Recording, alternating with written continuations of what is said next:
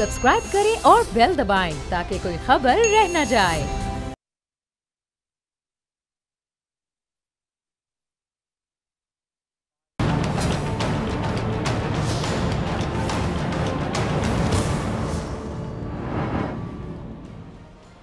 अस्सलाम वालेकुम ये है प्रोग्राम ऐसे नहीं चलेगा और मैं हूँ आपके साथ डॉक्टर फ़िज़ा अकबर खान।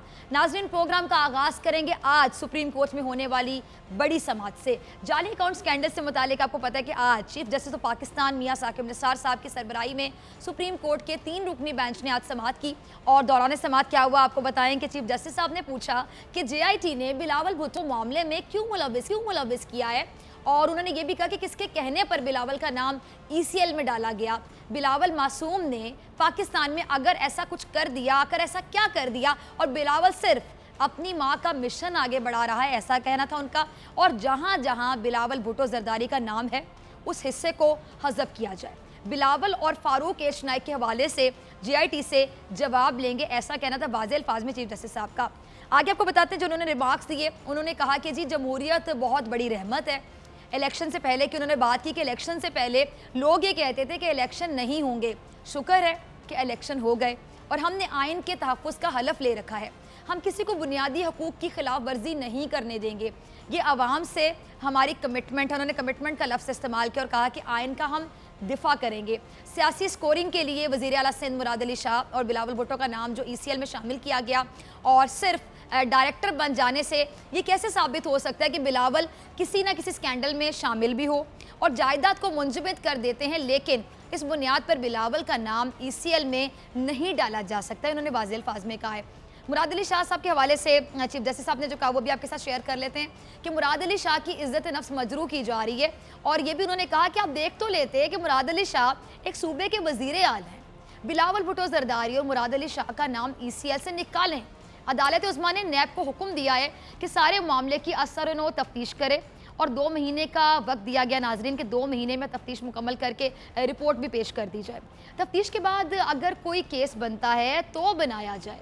साथ ही साथ उन्होंने कहा कि जे इस केस पर अपने तौर पर काम करती रहे और अगर कोई चीज़ सामने आती है तो नैब को फराहम करे।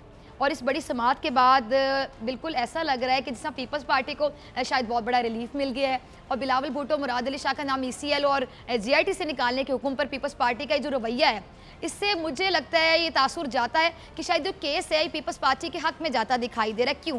क्योंकि आज भी हमारी टीम ने बेशुमार क्लिप्स निकाले हैं प्रोग्राम के फॉर्मेट के मुताबिक, जो आपके साथ शेयर करेंगे और आप लोग भी सेकंड करेंगे मेरी राय को, मेरी बात को, कि मैं बिल्कुल सही सोच रही हूँ। क्योंकि पीपल्स पार्टी वाले समझ रहे हैं कि तो सर पर तलवार लटक रही थी अब वो हट हट चुकी है। मुर्तज़ा वहाब साहब जो समाज के बाद काफ़ी कॉन्फिडेंट पूरे तमाद नज़र आए। उनका पहला क्लिप आपको दिखाते हैं। क्या कहना था मुर्तज़ा वहाब साहब का? ज़रा उन्हीं की ज़बानी जान लीजिए।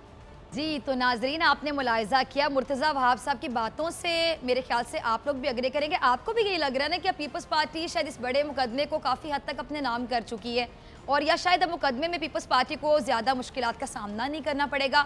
लेकिन अगर हम तहरीक इंसाफ की बात करें, जो कि हमारी सिटिंग गवर्नमेंट है तो तहरीक इंसाफ को सूरत हाल इसके बिल्कुल अगर मैं उलट कह दूँ अपोजिट कह दूँ, इसी तरह नज़र आ रही है। ज़रा देख लीजिए।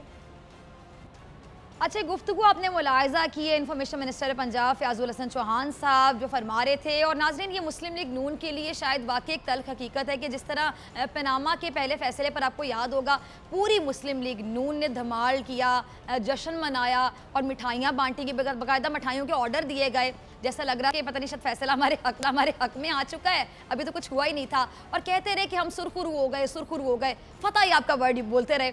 और वो फैसला कुछ ही अरसे बाद उनके क्या मैं बोलूँ कि हलक की वो हड्डी बन गया, जिसको आज तक ना निगला जा सका और ना ही उगला जा सका। लेकिन मुर्तज़ा वहाब के बाद खास से पुरमाद या बड़े कॉन्फिडेंट नज़र आते हैं, उनकी बॉडी लैंग्वेज आप देख लें, उनके फेस के एक्सप्रेशन देख लें, मज़ीद भी मुर्तज़ा वहाब साहब ने अपने कॉन्फिडेंस का इजहार किया किन अल्फाज में ज़रा मुलायजा कीजिए। जी तो आपने गुफ्तु मुलायजा की और मुझे लगता है कि मुर्तज़ा वहाब साहब तस्वीर का एक रुख देख रहे हैं, सिर्फ़ एक रुख। लेकिन तस्वीर का दूसरा रुख ये है कि पीपल्स पार्टी को इस बात को अब नज़रअंदाज बिल्कुल नहीं करना चाहिए, बिल्कुल निगलेक्ट नहीं करना चाहिए, जिसका ज़िक्र फ्याजुल हसन चौहान साहब इस क्लिप में करें जो आपको दिखाने जा रहे हैं। अच्छा जी फ्याज साहब की गुफ्तु नाजरीन, आपने मुलायजा की और ऐसा लग रहा है कि शायद इस मुल्क का सबसे बड़ा मसला, अगर मैं कह दूँ, या या शायद सियासी मसला और इकलौता सियासी मसला कह लें, वो जे आई टी है। जीआईटी एक तहकीकाती और गैर सियासी टीम है, जिसका काम क्या होता है? तफ्तीश करना इन्वेस्टिगेशन करना। लेकिन इस बार भी दो जमातों ने इस मामले को सियासी बनाने का शायद तहिया कर लिया है कि बस हमने इसको सियासी बनाने हम तहिया करके आए। एक ग्रुप जे के हक में, जबकि दूसरा मुखालिफ दिखाई देता है। और लग यूँ रहा है सिचुएशन को देखे कि मुल्क में जे के अलावा ना कोई इशू है, ना कोई टॉपिक है जिसको डिस्कस किया जा सके। पीपल्स पार्टी को मैं कहूँगी कि एक बात याद रखनी चाहिए यहाँ पे, कि सिंध में जाली अकाउंट्स अगर बने तो इसका जवाब दे, कोई ना कोई तो होगा ना, चले कोई A B C X Y Z जो भी होगा, कोई ना कोई होगा। समबडी शुड बी आंसरेबल और सिंध में हुकूमत पिछले दस साल से पीपल्स पार्टी की है। 2008 में आते हैं ना, जरदारी साहब, आपको याद होगा। फिर तेरह वाले टैन्योर में भी हमने देखा कि नून लीग विफाक में थी, लेकिन सिंध में पीपल्स पार्टी थी। और अभी भी देख लें 2016 की अगर हम बात करें, चौधरी निसार साहब ने भी ऐसे कुछ अकाउंट्स का ज़िक्र किया था, आपको याद होगा। वो अलग बात है कि किया कुछ नहीं। वो इल्ज़ाम था हकीकत थी। ये अब उस वक्त पता नहीं चल सका, लेकिन चौधरी निसार साहब के मुताबिक किसी खास अकाउंट से अयान अली और बिलावल हाउस की माली मुआवनत की जाती है और उन्होंने कहा था, एक ही अकाउंट है, आपको याद होगा, जो दोनों के लिए यूज़ होता है और जिसका इल्म एफ़ आई ए को था। अब ये तहकीकात आगे बढ़ी तो पता चला कि कहानी एक अकाउंट की नहीं है। यहाँ तो लातादाद अकाउंट्स हैं और ढेर सारे अकाउंट्स हैं। तहकीकात अभी पूरी नहीं हुई हैं। कोई बात भी कहना यकीनी तौर पे कबल हो सकता है, लेकिन ये बात अभी यकीनी है कि इन अकाउंट्स का कोई ना कोई तो नामदार है। बात है, जो सामने भी आ जाएगा एक ना एक दिन, लेकिन इस जे के मामले को सियासी बनाना आपको लगता है नाजरीन कि सही होगा? मैं तमाम नाजरीन से पूछ रही हूँ, आप लोग वोटर्स हैं, आप लोगों ने वोट दिए इन लोगों को, आप लोग पूरी समझ बूझ रखते हैं। अच्छा जी, मुराद अली शाह साहब का नाम जे में आने के बाद अगर तहरीक इंसाफ की बात करें तो उनकी जानब से उनके इस्तीफ़े का मुतालबा सामने आया था, आपको याद होगा। लेकिन नाम अब निकाला जा चुका है और इस पर मुर्तज़ा वहाब साहब ने अपने ख्याल का इजहार किया है। क्या कहना था उनका? ज़रा मुलायजा कीजिए। जी तो आपने देखा कि कैसे अपने गमो गुस्से का इजहार किया जा रहा है और दिल की बातें कही जा रही कॉन्फिडेंस भी अगर एक लिहाज से देखा जाए। और बात बेसिकली थोड़ी सी मैं इनके साइड लूँगी कि सही कह रहे हैं, क्या कह रहे हैं कि जी, जो लोग इस्तीफे का मुतालबा कर रहे थे, सिर्फ़ जे में नाम आने के बाद, जैसे कोई फैसला तो नहीं आ गया ना सुप्रीम कोर्ट से? और बार बार कहा जाता रहा कि जे रिपोर्ट है। ये एक तहकीकती रिपोर्ट है, आप इसको फैसला क्यों समझ रहे हैं? इस पर लोगों ने ऐसे ऐसे तजिए दिए अच्छा जी, उन्होंने क्या कहा है कि अब उन लोगों को अखलाकी तौर पर रिज़ाइन कर देना चाहिए, जो रिज़ाइन मांग मांग रहे थे, और मुतालबा तो एक लिहाज से उनका दुरुस्त है, क्योंकि उनका नाम ई से निकाला जा चुका है, बल्कि आपने सी के जो रिमार्क्स हैं, वो भी सुने होंगे कि उन्होंने कहा कि एक बड़े सूबे के वो सीएम हैं। उनका नाम वज़ीर अला का ईसीएल में डालने से पहले सोचना चाहिए था और ये उनकी तोहन है और उनकी इज़्ज़त नफ्स मजरू होने के मुतरद उन्होंने करार दे दिया। अब इनके मुतालबात आपने सुन लिए। अब दूसरी जानब जारी बात है, अब दो तरफ़ की जंग है, इधर से वार आ रहा है, उधर से लफ्जी वार आ रहा है, वो भी चुप नहीं रहते। हालाँकि वाहिद गवर्नमेंट है, जिसके बारे में मैं अक्सर प्रोग्राम में कहती हूँ कि सिटिंग गवर्नमेंट का इतना बोलना बनता नहीं। काम से बोलें, काम करके बताएँ। कहते हैं ना action speaks louder than words opposition का काम है, उनको बोलने दें। तनकीद करे थे, पहली गवर्नमेंट देखी है जो कि खुद बोलती है। खुद आती है मैदान में और इन्फॉर्मेशन मिनिस्टर साहब तो बस बोलते चले जाते हैं, बोलते चले जाते हैं। बातें बहुत अच्छी अच्छी भी कर देते हैं मतलब फिलबदी बातें करते हैं। अच्छा जी, अब उन्हीं का ज़िक्र हुआ तो उन्हीं का आपको क्लिप दिखा देते हैं कि तहरीक इंसाफ के इन्फॉर्मेशन मिनिस्टर साहब जो हैं, वो कुछ फरमा रहे हैं और उनका कहना बिल्कुल ही अपोजिट लग रहा है। ये जो मुर्तज़ा वहाब साहब का आपने क्लिप देखा था ना, इससे बिल्कुल उलट है। सुनिए। जी तो ये तहरीक इंसाफ के इन्फॉर्मेशन मिनिस्टर है जी, हमारे पाकिस्तान के इन्फॉर्मेशन मिनिस्टर हैं ये तहरीक इंसाफ के। और फवाद चौधरी साहब ने व्यूवर्स जो बात की, आप सुन रहे थे। अच्छा ये तो जे का मामला है का मामला है, जिसमें दोनों ही फरीक एक दूसरे के खिलाफ हम देखते हैं कि सियासी बयानबाजी करते हुए दिखाई दे रहे हैं। और ख़ुद को हर इल्ज़ाम से बरी जमा करार भी देते दिखाई देते हैं। एक दूसरे पर कीचड़ उछाल रहे हैं और सियासत हम देख रहे हैं कि इधर से ताबड़तोड़ हमले हो रहे हैं, उधर से लफ्जी वार आ रहे हैं, जवाबी वार आ रहे हैं, बस यही चल रहा है। आवाम के लिए कोई नहीं सोच रहा। मुराद अली शाह साहब इस्तीफ़ा दें या ना दें, ये उनका एक अलग मामला है। लेकिन मुर्तज़ा वहाब साहब जो हैं, उनका एक स्टैंड है। ठीक है जी। फवाद चौधरी साहब, जो कि हुकूमती तर्जुमान है, उनका अपना ख्याल हो सकता है, लेकिन चूँकि फवाद चौधरी साहब सिटिंग गवर्नमेंट के तर्जुमान है सिटिंग गवर्नमेंट के तर्जुमान है तो उनसे सवाल करना मेरा और नाजरीन आपका। हम सब का हक है। मैं फवाद चौधरी साहब से कुछ सवाल पूछना चाहूँगी। अच्छा चौधरी साहब, आप कह रहे हैं कि फ़िल्म ठग्स ऑफ़ पाकिस्तान चल रही दोबारा सुनिए क्या कहते हैं? पहले भी इन्होंने कहा था, ठग्स ऑफ़ पाकिस्तान चले बातें भी पता नहीं कहाँ से निकाल के लाते हैं। जिसमें सारे ठग्स एक साथ दिखाई देते हैं, सारे कहते हैं, एक लाइन में खड़े हुए हैं। एक फ़िल्म वो भी थी ना, जो इंतबात से पहले आपने वाम को दिखाई थी। उसका क्या बना चौधरी साहब? वो कैसी चल रही है? अच्छा ये बता दें, वो जो फ़िल्म है, वो हिट हुई है या फ्लॉप होगी? बुरी तरह से पिट गई है। उस फ़िल्म का नाम अगर आपको याद नहीं है ना तो मैं आपको फ़िल्म का नाम याद करवा देती हूँ। फ़िल्म का नाम था, आप जिस ठग्स ऑफ़ पाकिस्तान कह रहे हैं, उस फ़िल्म का नाम था तब्दीली। तब्दीली के नाम से एक फ़िल्म रिलीज़ होनी थी, रिलीज़ हो चुकी है, लेकिन फ्लॉप हुई, पिटी या हिट हुई, अभी आप बता दें, वो तब्दीली, जिसमें एक आम आदमी बहुत ख़ास था। एक आम वोटर, घर में रहने वाला आम वोटर बहुत ख़ास था जो आपको जाके वोट देकर आया। वो तब्दीली जिसमें कानून सबके लिए बराबर होना था। वो तब्दीली जिसमें अवाम ने खुशहाल होना था। वो तब्दीली जिसमें मुल्क ने तरक्की करनी थी, स्कूल बनने थे कॉलेजेस बनने थे यूनिवर्सिटीज़ बननी थी हॉस्पिटल्स बनने थे। आप क्या कहते थे? सड़कों से कॉमें नहीं बनती। ओवरहेड ब्रिजेस अंडर पासेस ट्रेनें बसें, वो क्या कहते थे, जंगला बस कहते थे आप, उससे कौमें नहीं बनती, हॉस्पिटल से कौमें बनती हैं, हॉस्पिटल्स होने चाहिए, तालीम से कौमें बनती हैं, तालीम होनी चाहिए, बुनियादी ज़रूरियात हैं जी, हॉस्पिटल, इलाज, एक एक स्टेटर पर चार चार स्टेचर पर जो मरीज़ होते हैं, वो नहीं होने चाहिए। अब वो तब्दीली जिसमें कर्जे उतारे जाने थे, आपको याद होगा, वो तब्दीली जिसमें जिसमें क्या था जी, बयानबाजी से ज़्यादा अमली कारकर्दगी पर इन्हार किया जाना था कि प्रैक्टिकली बताएँ कि आप काम करके दिखाएँ, सिर्फ़ ज़बानी जमा खर्च ना करें। वो तब्दीली जो एक गरीब के चेहरे पर मुस्कुराहटें बिखेरने का सबब बनना थी, वो तब्दीली जिसमें गरीब का मैार ज़िंदगी बेहतर होना था, और वो तब्दीली जिसके आप तमाम लोग अलम्बरदार बन कर आए थे। 22 साल से नारा लगा कर आए थे, तब्दीली तब्दीली तब्दीली। 22 साल के बाद जब आ जाते हैं बतौर बाईस में वज़ीर अजम इमरान खान साहब, पूरी काबीना लेके आप तमाम लोगों की तो आप लोग जब आते हैं, प्रैक्टिकली आप लोग ज़ीरो नहीं कहूँगी, लेकिन सॉरी टू सेटिस्फाई भी नहीं कर पाए। क्या वो फ़िल्म तब्दीली फ्लॉप हो गई? या आप बता दें। या फिर इसमें अभी कोई, हम क्या कहें क्लाइमेक्स तो नहीं कहूँगी। ट्विस्ट मेरे ख्याल से आने वाला है। क्योंकि तब्दीली अब सिर्फ़ मेरे ख्याल से चेहरों की हद तक आई है कि चेहरे तब्दील हो गए। कबीना में तो चेहरे थे। इसाकदार साहब की जगह हमें असद उमर साहब देखने को मिल गए। आप आगे सामने इंफॉर्मेशन मिनिस्टर का चेहरा तब्दील। मतलब हमने ने देखा कि तमाम जो चेहरे हैं ना, मरियम औरंगज़ेब साहिबा की जगह हमें आप नज़र आ रहे हैं। पहले उनके दौर में परवेज रशीद साहब भी थे। मतलब चेहरे तब्दील हो रहे हैं और क्या तब्दीली मिली? अवाम को क्या मिला? अवाम के हाल की अगर मैं बात करूँ अवाम दिल पर हाथ रखे मेरी तरह, इसी तरह। और बताएँ, क्या हाल है आपका? आपकी महँगाई का क्या हाल है? जो आप सब्ज़ी लेने जाते हैं, फल लेने जाते हैं, अशिया खुरोनोश लेने जाते हैं, अशिया ज़रूरत, जो आपको ज़रूरत की अशिया चाहिए होती हैं, ज़िंदगी गुजारने के लिए क्या बहुत सस्ती मिल रही हैं? तब्दीली बहुत बड़ी तब्दीली आ चुकी है। हम इंतज़ार कर रहे हैं। नाजरन, इंतज़ार करें, हम भी इंतज़ार करें और दुआ करें कि आपकी ये फ़िल्म हिट हो जाए, ताकि आम आदमी का कुछ भला हो सके। लेकिन आप कुछ करना तो दूर की बात, जो नहीं किया उसका सेहरा भी अपने सर बाँध देते हैं। किस तरह? चौधरी साहब की ज़बानी मुलायजा कर लीजिए। चौधरी साहब, कौन सी दुनिया में रहते हैं आप? हमारे वज़ीर आज़म पाकिस्तान, इमरान खान साहब, आपके कई विफाकी वजरा, आपके मुशीर, के मुशीर, मुआवन, जितने भी लोग आते हैं, बात करते हैं, आप खुद कई मरतबा कह चुके हैं ना कि ये जो मुकदमात हैं, ये नाजरीन ज़रा गौर से सुनिएगा, गौर से सुनिएगा, ये मुकदमात पूरी पीटीआई की गवर्नमेंट कहती रही, इमरान खान समेत वज़ीर अजम समेत पूरी काबीना, कि ये मुकदमात आपके दौर के नहीं हैं। ये क्या हैं?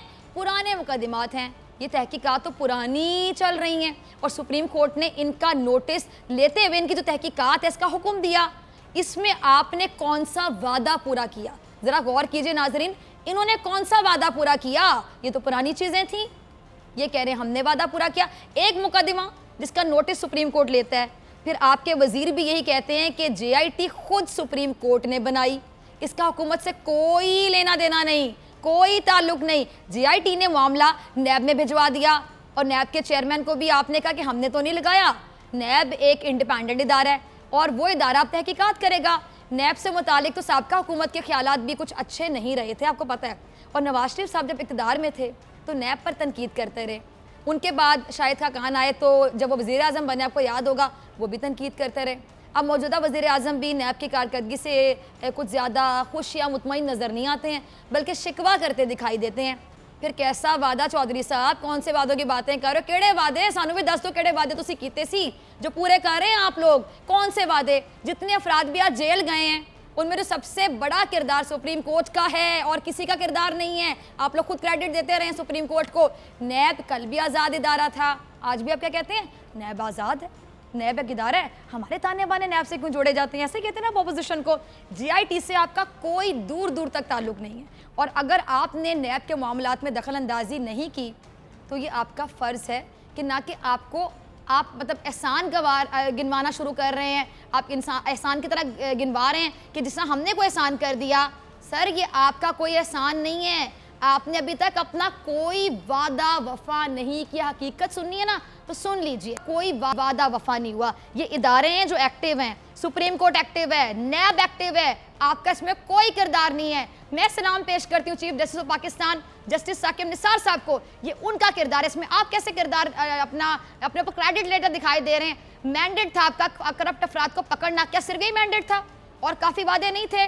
तब्दीली के वादे आवाम की खुशहाली के वादे आवाम के लिए जो महँगाई बॉम्ब गिरता चला जाता है, ये जो वादे आपके, ये थे कि महँगाई हो जाएगी, आवाम को हम भूल जाएँगे। कोई कानून साजी हो ही नहीं रही असम्बली में। पहले तो आप पब्लिक अकाउंट कमेटी के चेयरमैन लगाने में इतनी देर लगा देते हैं। पहले आप कहते हैं वो लग ही नहीं सकते, फिर उन्हीं के नाम पे आप लोग अग्रीड होते हैं। फिर आए दिन हम तो ये देखते हैं कि एक खड़ा हो गया, किसी के बारे में बयान दे रहा है, दूसरा खड़ा होकर दूसरे को जवाब दे रहा है। ये खड़े होकर उस पर तनकीद करें, वो खड़े होकर पिछले दस साल की बातें करें। कोई खड़ा होकर कह रहे कि पुराने दौर की गलती है, कोई कह रहे पुराने से पुराने दौर की गलती है। अब आगे चले ना वॉट नेक्स्ट आवाम जाना चाहती वॉट नेक्स्ट तब्दीली कब आएगी? करप्ट अफराद आज तक जितने भी पकड़े गए या जेल गए। अब दिल पे हाथ रख के आप खुद बता दें चौधरी साहब, इसमें आपका कोई किरदार था? नवाज़ शरीफ साहब, शहबाज शरीफ साहब, फवाद हसन फवाद ख्वाजा बरदरान या पीपल्स पार्टी का मामला, ये तमाम मसाइल अदालतों में हल हुए। मैं दोबारा बता रही हूँ, ये तमाम मुकदमात अदालतों में हल हुए तो लिहाजा आपसे रिक्वेस्ट है, मैं हाथ जोड़ के रिक्वेस्ट करती हूँ, जो क्रेडिट लेना है ना, आप अपने ऊपर क्रेडिट लें, जो आपने काम किया, बल्कि आपको भी क्रेडिट लेने की ज़रूरत नहीं पड़ेगी। जब आप अपने वादे पूरे करेंगे ना, ये अवाम, हम खुद बैठ के आपके हक में प्रोग्राम करेंगे कि ये चीज़, ये आपने वादा पूरा किया, तब्दीली का नारा लगाने वाले ने, ये चीज़ तब्दील करके दिखाई, और हम कहेंगे, ये चीज़ थम्स अप पूरा तो करके दिखाएँ। वरना पाँच साल के बाद अवाम आपको भी कह देगी कि ऐसे नहीं चलेगा। ब्रेक के बाद मिलते हैं नाजरी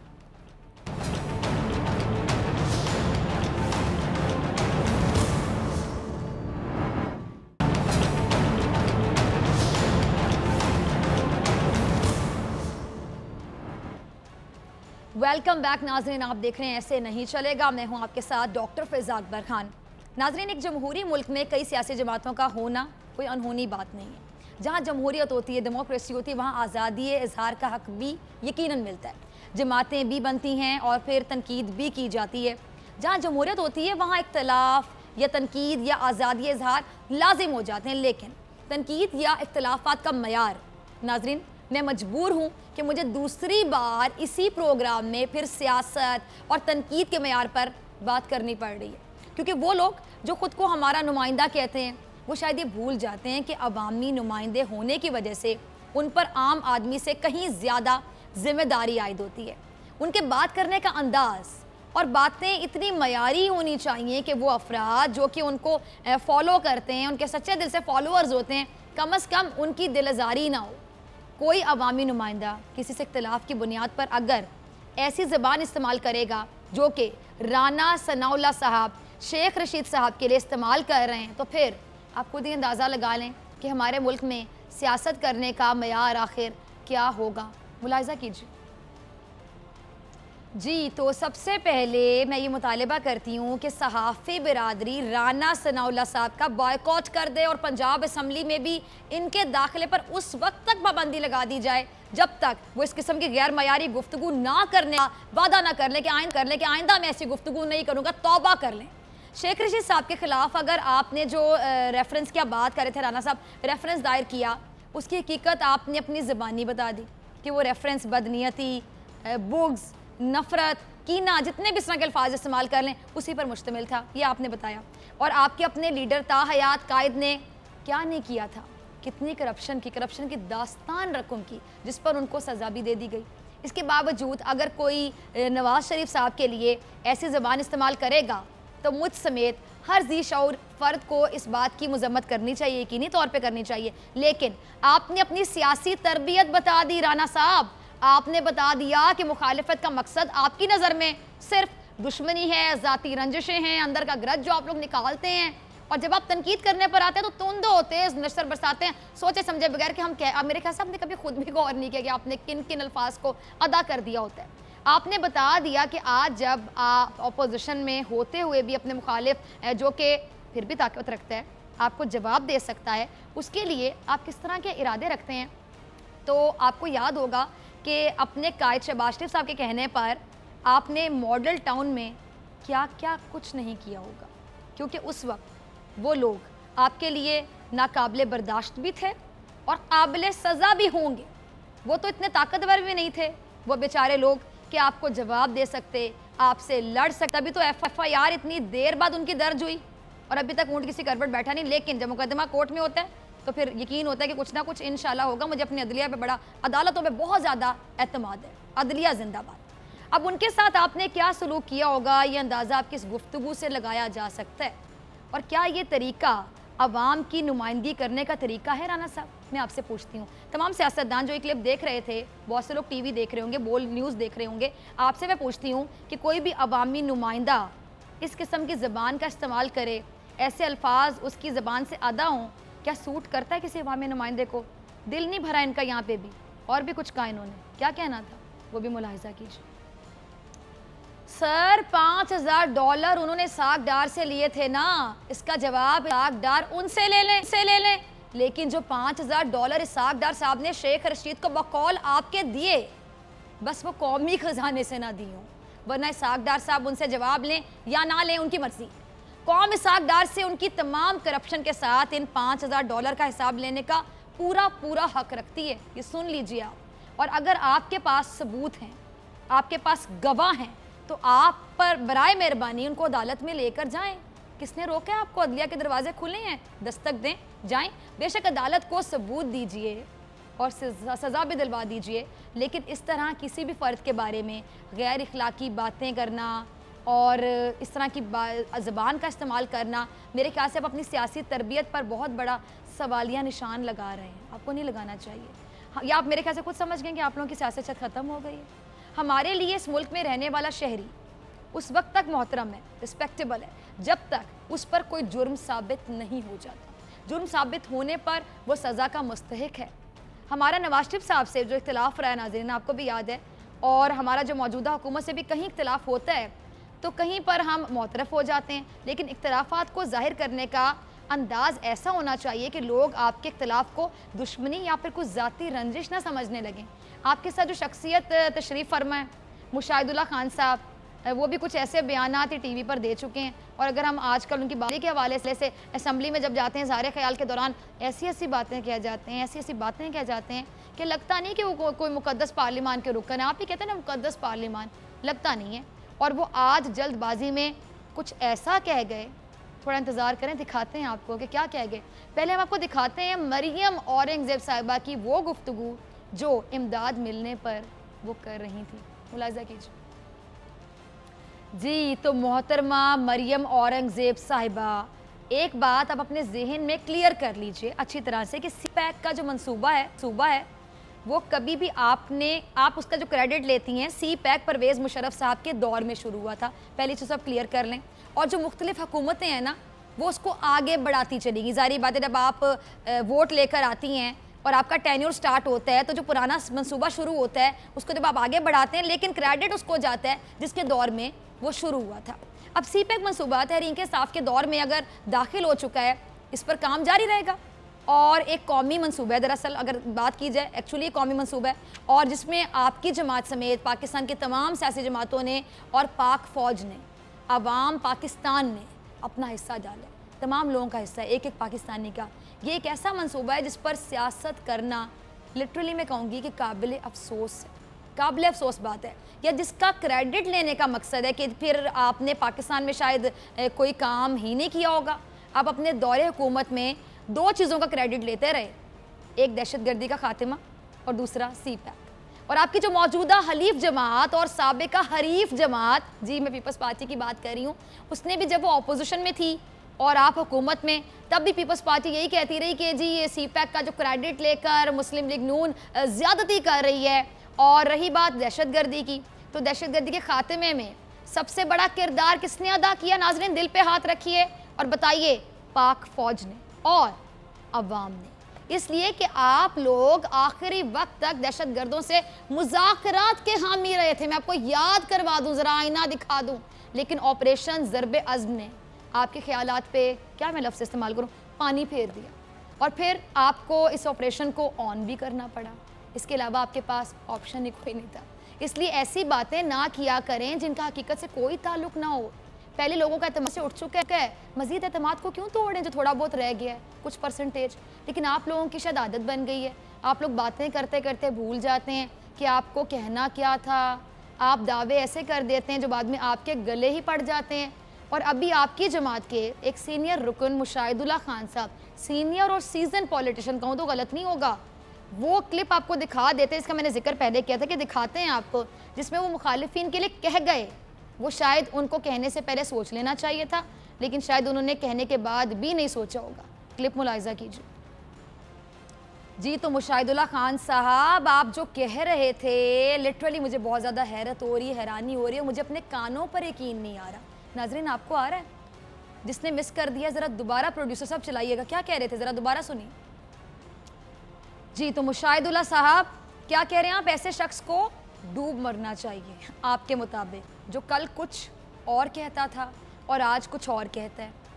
तो फिर दिल अपना बड़ा कर लीजिए। बहुत बड़ा कर लीजिए। हम आपको आपके ही लीडर के कुछ क्लिप्स दिखाते और बहुत से आपकी जमात के लोग इस टाइम पे ऐसे नहीं चलेगा, देख रहे होंगे। तो चैनल ना चेंज कीजिएगा। दिल बड़ा करें। मुशाहिद साहब, आप भी और आपकी जमात वाले भी देखिए। जी, कौन है ये? पहचाना आपने मुशाहिद साहब और आपकी जमात में से अगर कोई देख रहा है इस टाइम पे हमारा चैनल और ये प्रोग्राम ऐसे नहीं चलेगा। पहचान लिया आपने? ये उनका कल था और भी बहुत कुछ है। प्रोड्यूसर सब चलाते जाएँ। आज तो बहुत कुछ है। देखते जाओ, शर्माते जाओ। लेकिन शर्म तुमको मगर नहीं आती। आज आपके कायद, आपकी जमात, भुट्टो साहब को अजीम लीडर कहती है, ये आपके कायद का कल था। इतनी सियासत जब की गई थी, बेनज़र भुट्टो साहिबा के ख़िलाफ़ इतनी सियासत किसने की थी? ये मैं सिर्फ़ मुकाबले में बात नहीं कर रही कि मुकाबला किया गया था 1988 में बेनज़र भुट्टो साहिबा। पहली बार आती हैं बतौर first prime minister, lady prime minister of Pakistan, lady prime minister. और 1979 में भुट्टो साहब को फांसी दी जाती है। और 1979 से 1988 तक नाजरीन बनते हैं नौ साल।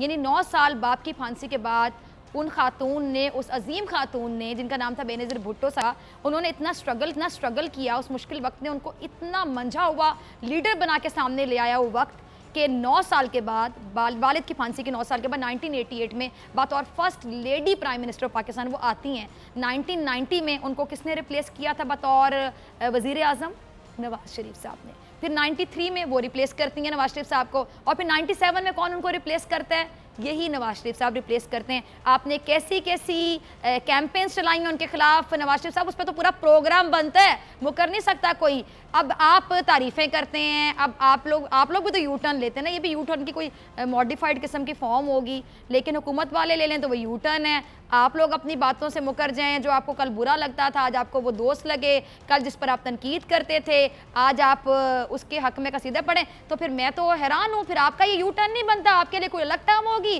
क्योंकि आप कर रहे हैं तो कोई बहुत अच्छी चीज़ होगी, कोई वक्री चीज़ होगी, कोई और करन दे तो यू टर्न होएगा, वो गलत बात होगी, वो सियासत नहीं होगी, वो सियासत का कोई वखरा अंदाज होगा। क्या बातें करते हैं आप लोग? अच्छा जी, अब ये बात यहाँ नहीं रुकती। मुशाहिदुल्ला साहब ने बात ही अब ऐसे कह दी है कि अब इतनी आसानी से ख़त्म करने का दिल ना तो मेरा चार है, ना मेरी टीम का, प्रोड्यूसर रज़ा भी बड़े चीज़ों को तैयार करके बैठे हुए तो रज़ा, मेरे ख्याल से हम क्लिप चलाते जाते हैं और नून लीग वाले देखते जाएँ और क्या कहूँ, शर्माते जाएँ शर्माते जाएँ, लेकिन फिर कहूँगी, शर्म तुमको मगर नहीं आती।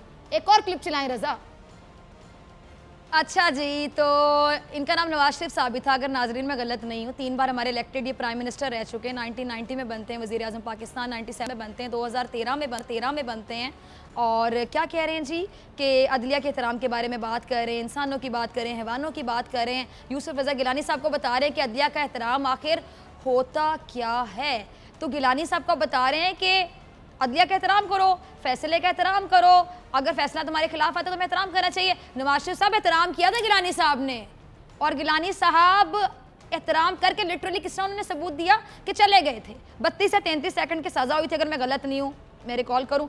और वो चले गए थे। उन्होंने जाने के बाद जी टी रोड रैली नहीं निकाली थी। रैली में जाके जगह जगह स्टॉप पे बुलेट प्रूफ शीशों में जाके खड़े होकर ये नहीं कहते तो इर्गिर्द से लोहे के चने वाले उनको घेर लेते थे कि कहीं आपको कहीं से गोली ना आ जाइए तो आप लोगों का जज्बा और आप तनकीद करते हैं, पाक फिर खुले सीनों के साथ बॉर्डर्स पर लड़ती है। तनकीद पता नहीं आप लोग किस मुँह से कर लेते हैं। खुद बुलेट प्रूफ शीशा लगाए पर आप लोगों से तकरीर नहीं होती पाँच मिनट की। और आप क्या पूछते फिर रहे थे, मुझे क्यों निकाला, मुझे क्यों निकाला? आपकी तरह गिलानी साहब ने कोई रैली निकाली थी? खामोश जाके बैठ गए थे साइड पे।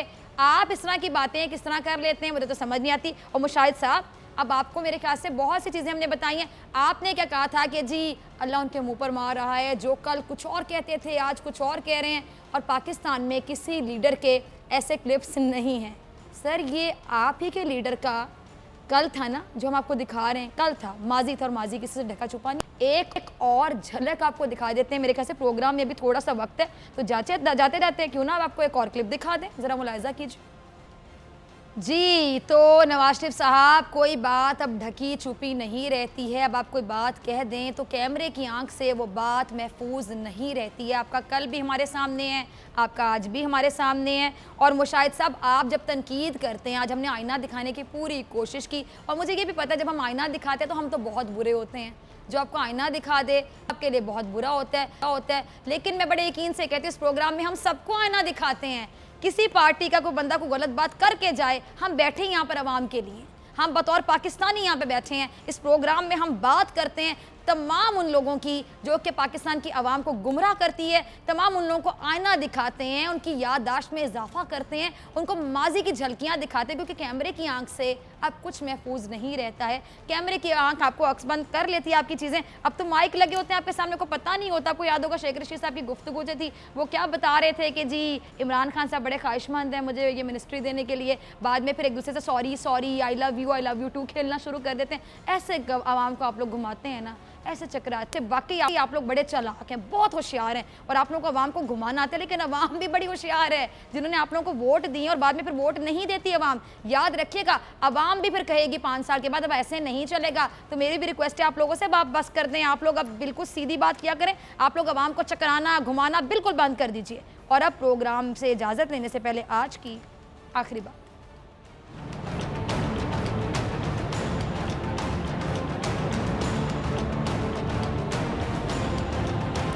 तो आखिरी बात मैं सिर्फ़ ये कहना चाहूँगी कि अपनी माजी की जो गलतियाँ हैं उनसे सीखने की कोशिश कीजिए। दो तरह के लोग होते हैं, नाजरीन। एक वो होते हैं जो अपनी गलतियों पे ढिटाई का सबूत देने पर आ जाते हैं ढीट हो जाते हैं। यानी उनकी कुछ सर्जनिश करे, बड़े तो सबके घर में होते हैं। नवाज़ शरीफ साहब आपका भी कोई बड़ा होगा, राना सनाउल्ला साहब आपका भी कोई बड़ा होगा मुशाहिदुल्ला साहब आपका भी कोई बड़ा होगा, फवाद चौधरी साहब आपका भी कोई बड़ा होगा, जरदारी साहब तमाम लोगों से मुखातिब ये ना समझे हम किसी एक पार्टी से मुखातिब हैं। तमाम पॉलिटिशियंस, तमाम इंसान हैं। आप तमाम लोगों का कोई ना कोई बड़ा होगा। अगर आपकी कोई सर्जनिश करे, आपको कोई डांट पिलाए, आपको कोई समझाए, आपको कोई बताए कि यहाँ पर आप गलत हो पुत्र ऐसे सही हो जाओ तुसी। तो आप लोगों को चाहिए कि आप लोग अपनी इसलाह शुरू करें, आप अपनी माजी की गलतियों से सीखें, ना कि डिटाई का सबूत दें। और मेरा दिल बड़ा बाग बाग हो जाएगा और मुझे लगता है कि शायद मेरी ज़िंदगी में ऐसा कोई मौका आए कि मैं यहाँ बैठ के इसी प्लेटफॉर्म पे ऐसे नहीं चलेगा कि प्रोग्राम में बोलूँ उसकी स्क्रीन पे बैठ के बोलूँ कि ये देखें ये लीडर मान रहे कि यहाँ मैं गलत हूँ और आवाम से एक्सक्यूज़ कर रहे हैं। सॉरी कर रहे हैं कि आई एम रियली सॉरी मुझसे गलती हो गई, मैं इंसान हूँ।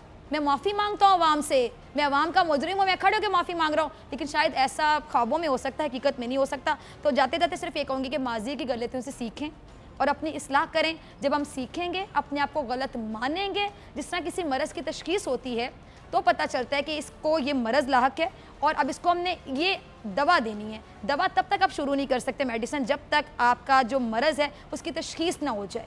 इसी तरह जब आप अपनी गलती को मानेंगे नहीं आप ढीट होकर डट जाएँगे कि मैंने गलती की नहीं। आप इसलाह नहीं कर सकते। इसलाह के मरहले में आप दाखिल ही नहीं हो सकते। तो मैं जाने से पहले कहूँगी, खुद को बदलो, फिर बदलेगा पाकिस्तान। पाकिस्तान जिंदाबाद। डॉक्टर फजा अकबर खान को दीजिए इजाज़त। आपसे मुलाकात होगी कल सेम टाइम सेम चैनल अगर ज़िंदगी ने वफा की, दुआओं में याद रखेगा ढेर सारा ख्याल रखेगा अल्लाह निगेबान